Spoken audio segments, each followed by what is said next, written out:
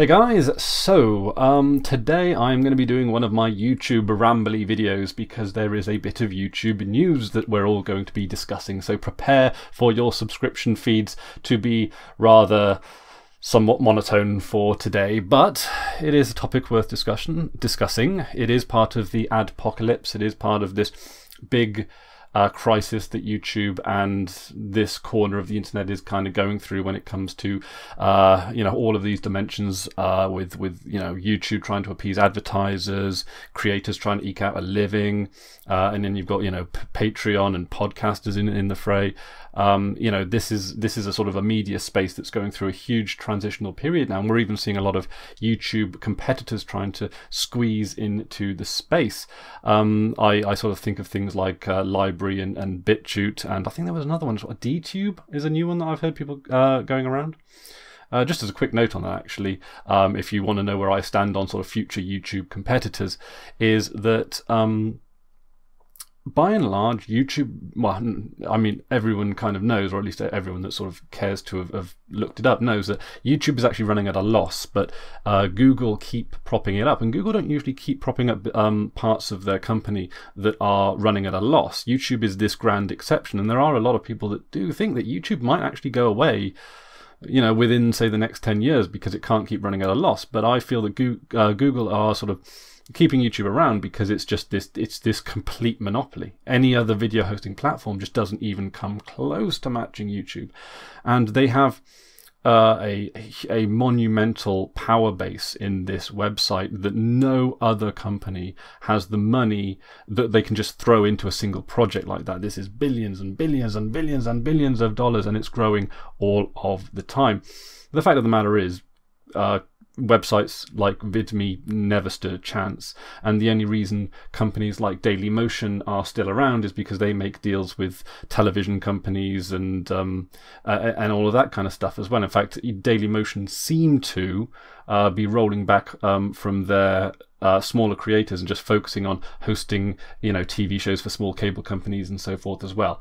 Um, they're more sort of a video hosting platform than YouTube, which is video hosting plus this social media side of things because admittedly hosting on you you know if we wanted to host media in general it's not too difficult. Admittedly we might have to reduce the, the resolution of our video. We might even have to do it in a different format like a podcast or whatever. But that to be honest isn't the the end of the world. The real reason why youtube has the amount of power that it has is because of the discoverability I would not have a channel at all.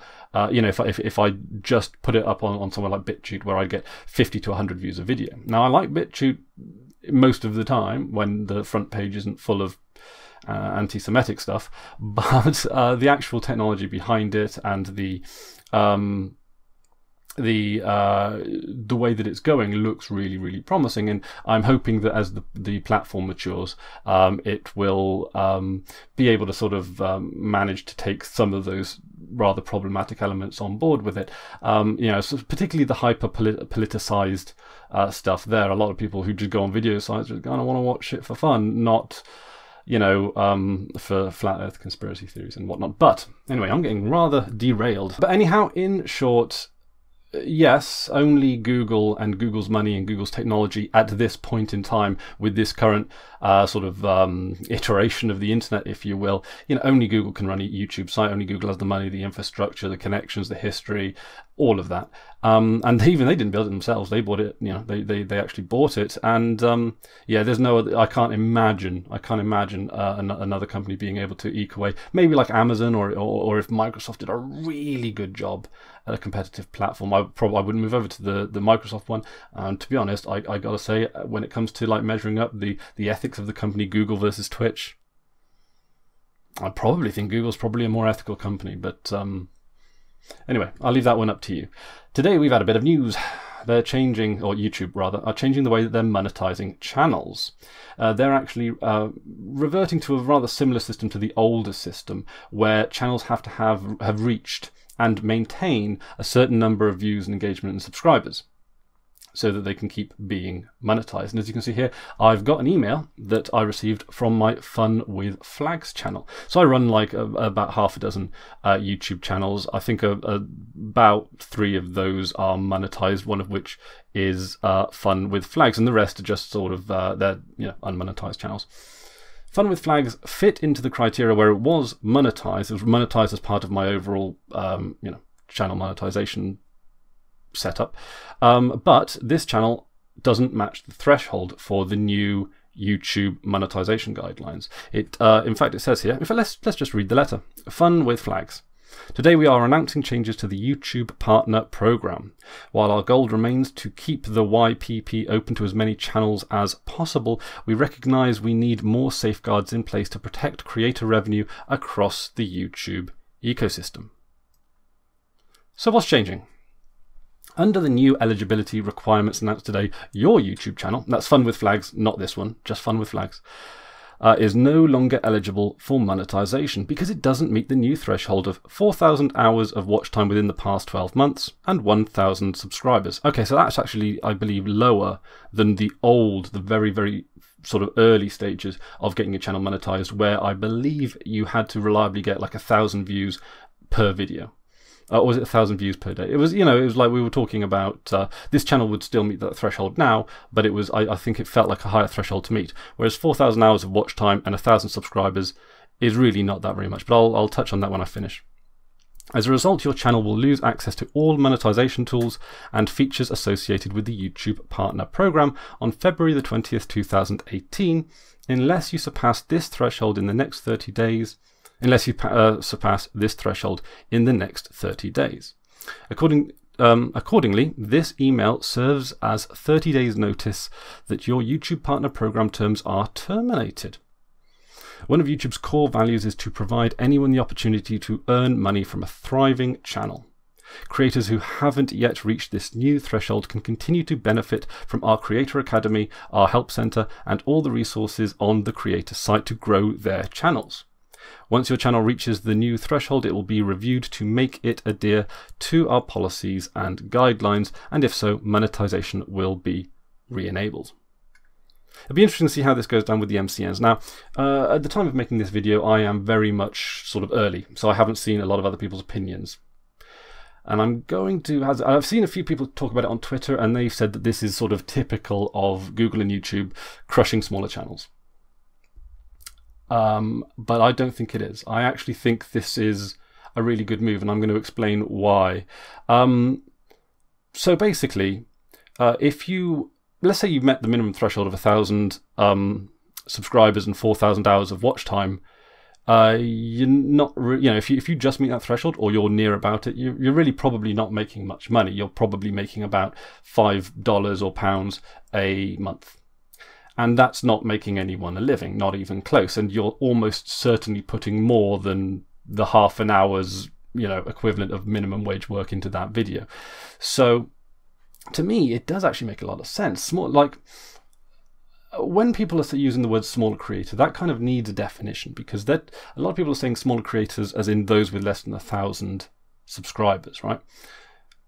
But if you're a channel that intends on making any real amount of money through monetization, uh, 1,000 subscribers is is really like not enough. And uh, to be honest, if your channel is going to uh, grow and, and, and make any real amount of money, the first 1,000 subscribers, um, you sort of have to get on your, you know, like like that. That shouldn't be too much of a problem if your content is good enough, it's discoverable enough, and enough people want to connect to it. I'm not necessarily saying that the first 1,000 subscribers are easy to get to in all cases, but I think it took me probably about a month for for me to get my first 1000 subscribers on my Game of Thrones channel.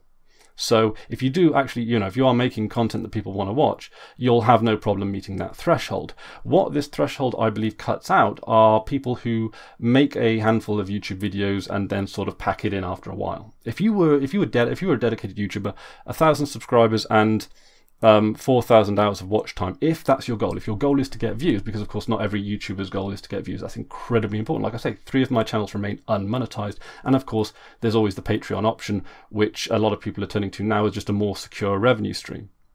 or you know, and also as a supplementary system as well, like uh, like what I'm using it for. So basically, what I'm saying is that channels like mine, where they're making a sort of a reasonable amount of money. In fact, the money made from the monetization on this channel is is a pretty essential part of my overall income, and things like the adpocalypse actually affect me a lot more than um, what I sort of led on. Now I'm a uh, science and technology channel, and I'm very uncontroversial. So I, when when adpocalypses tend to happen, I tend to be on the safer end of them. But we've had like three of them now, and this this Logan Paul thing, it's it's it's you know it's a storm that is getting more and more difficult to weather every time it comes through. And one of the things that YouTube have been really legendarily good at that no one ever gives them credit for is actually being able to drum up the advertisers. Like YouTube has billions and billions and billions of dollars coming in from advertisers from all kinds of companies, small businesses, big businesses, non-profits, you name it. Selling advertising is one of the most difficult things you can do. Because in for, in, in, for example with my with this channel that you're watching now i get a uh, offer for a um, sponsorship about once somewhere between once a week and once a month and I've never taken any of those offers because they're always shady companies that are trying to make a quick buck off the naivety of a millennial, it seems. So um, I've, you know, or, or, or, you know, and, and they're, they're out there to take advantage of you as much as they are to take advantage of me. They're out for it for themselves, and they exactly, um, you know, great companies. In fact, I get a lot of offers of sponsorship from people who make software only for Windows, uh, which is a bit silly as well. But anyway, uh, that aside, smaller channels making uh, five dollars a month is is sort of withdrawing money out of that pocket. And um, with you know and, and there is only you know with, with advertisers pulling out of YouTube uh, the amount of advertising money to go around is is is reducing. It's it's getting smaller. And so not only do YouTube have to make like serious serious changes and this is why they're hiring like 10,000 people to um, uh, moderate the preferred advertising videos but they're also raising this this this bottom threshold here, and to me that I think you know that I think that's going to help like a lot of like what I consider smaller creators like this channel steady up the advertising revenue so that um it, it you know it, it allows me to stay here. Because if you're only making like five dollars a month the money isn't what's keeping you on YouTube it's it's the passion for it and the money is kind of maybe you know it's uh you might be able to get some expenses for it. You might be able to buy a nice drink or or some travel expenses to re, you know to record for it. It's a nice little you know a bit on the side. Whereas for someone like me and for other channels like mine it's probably there's a little bit more uh, of a consequence in when these advertising mishaps happen. And also when you've got smaller channels that, that, that don't have many subscribers doing incredibly um, outrageous things and still managing to latch onto a to an advert, that overall harms the the ecosystem as well. And it, I think it does help if you do have this bar of minimum quality before you can actually um, monetize your channel. And even with all of this in play, right, this still gives us it's so much more freedom than you ever get on any other broadcast medium. And I think that's really important to bear in mind. So, um, so yeah, I think, um, and I am making this argument entirely out of self-interest because, um, yes, it is effectively um, shoring up the available um, advertising revenue that's coming into YouTube now and handing it over to uh, or dividing it amongst the channels that have a certain amount of mileage and support behind them already. Uh, but like I say, popular channels, I mean, there uh, should have not too much of a problem to find the first uh, 1,000 subscribers if gaining views and subscribers is a specific goal of your channel. Like I say, there are plenty of channels out there that want to grow organically, naturally, aren't too worried about the money. Obviously, this is going to affect them, but it's not going to affect their ability to make videos as much. So I think that this is a this is actually an example of YouTube correcting an issue without overcorrecting it. And I think that's a rarity, and I welcome that. Now, like I say, YouTube have not been kind to small creators like this channel, like many other channels of this size over the past couple of years, and a lot of it has just been uh, problems handed down from uh, you know YouTubers uh, that have basically pissed off advertisers. It's as simple as that. It's all about the money, and um, and and YouTube has an image problem right about now, and that affects the bottom line, and that affects thousands, tens of thousands, maybe even hundreds of thousands, if not millions of creators. And um, and and I think this this might might just be a might just be a a step in a, in a, in a good direction. They've got a lot of PR work to do. They've got a lot of uh, of damage to uh, to repair. But the thing is, there really isn't a substitute for YouTube, and it's not because YouTube can hold all of these videos. Well, it's part of that because no company can even match them. But really, if I put, I can put my video up on Bit uh, BitChute, and it just won't get the viewership. YouTube brings the viewers. Um, it's the place where people congregate. It's the town square. And if I don't like the town square, if I find the town square, you know, um, oppressive or offensive, yes, I can go around the corner to the you know arse end of nowhere and still continue making my content. But to be honest, I don't really want to put time and effort into videos if only a small handful of people are only ever going to watch them. I don't want to ever be those, you know, that, that person where views and subscribers are ever really important. And I'm very um, glad that I've actually managed to foster this channel very, very organically. There might be a YouTube competitor to take over, but unless it's got some kind of uh, you know peer-to-peer technology behind it, I think that uh, that anything that resembles VidMe is uh, DOA. I think so. Uh, and um, just before I leave you now, I think that it. I, I want to air one of the, the big issues that I have with with YouTube. I'm, I'm not going to make a video where I'm going to say that YouTube did everything right. Um, is how like the attitude of monetization that not only the bigger YouTubers have like Joke and uh, like Logan and Jake Paul, who just you know aggressively monetize their merch to to young children, but if you have ever been on any of the YouTuber creator courses and academies and you know sessions and stuff like that, YouTube will generally encourage you to try and basically uh, turn your channel into a form of a like a into a cult basically. They you know they encourage you to give a special name to your subscribers to, uh, to, to you know to sell merch to get a brand to get a logo stamped into your consciousness to get you ruthlessly loyal and um and, and defensive and uh, uh you know and and and and, and to basically sort of bring you into a fold in a very cultish way because um, that's just a, a, very good way of retaining viewers and, and, and making money. And it's something that I have a deep, deep problem with. And a lot of channels engage in this kind of cultism behavior of just um, of, of, of just um, of just basically trying to find a, a group of people and just like ring them in like they're cattle. And and that is something that I, I don't like doing. But I feel that I am in some way protected from this because I don't consider you guys to be a community for this channel. I consider you guys to be part of, and I include myself in this as well, part of the open source Linux tech community, the, the sort of the inclusive tech community, the tech community that want to fix and build things and, uh, and and make tech better and and just you know get that thrill of of of, of you know disassembling a radio and putting it back together. You know, and and that's that's not nowhere near exclusive to this channel. That's there's millions of people the world over, and I feel a part of that larger ecosystem, which is why I've never been tempted to sell merch. I mean, what would I sell? You know, I, I, I think that the well, when we look at imagery and logos and merchandise, I think if you're going to stick a logo on a T-shirt, put your favorite distro on there. You know, don't like nothing. I'm you know I'm not iconic enough to to warrant printing a T-shirt for. What a ridiculous sentiment is that? And it's not like t-shirts make that much money. That's why you have to so aggressively sell them. And um, and it's something that I have a it's something that that makes me feel very very uncomfortable in you get it a lot with political channels. And this the, it irks me more with political channels than anything else because you get these very loud very aggressive people so sure-footed in their opinions. However that aggression and and all that shouting into a camera isn't going to change anyone's mind it's not designed to. It's designed to uh, to rage up your base.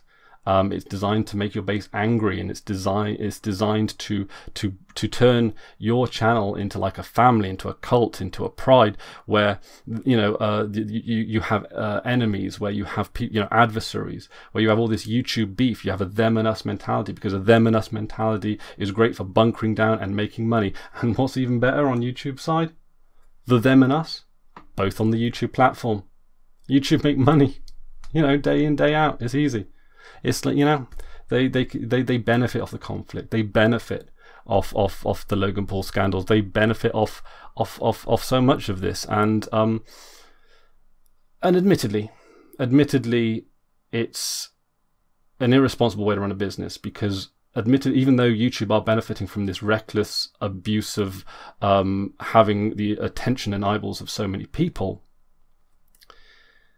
they're acting recklessly for short-term gains, and it's making the long-term future of YouTube questionable.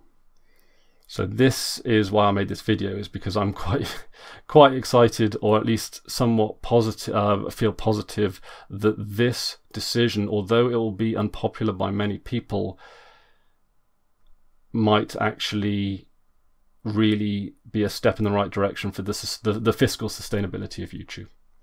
So uh, I think I'm going to leave it there and I'm going to let you guys uh, uh, well, hash it out in the comments because I'm sure this will be something of a um, an interesting topic to discuss. I don't think it, I don't know how controversial it might be, but um, but it might be quite interesting to discuss and just to sort of uh, examine the perspectives of, of lots of different YouTubers because I'm you know one of many and um, and I'm a small YouTuber at that. So um, anyway, that's about it for me today. Thank you very much for watching and until next time, I've been Chris Were and you've been awesome. Take care now.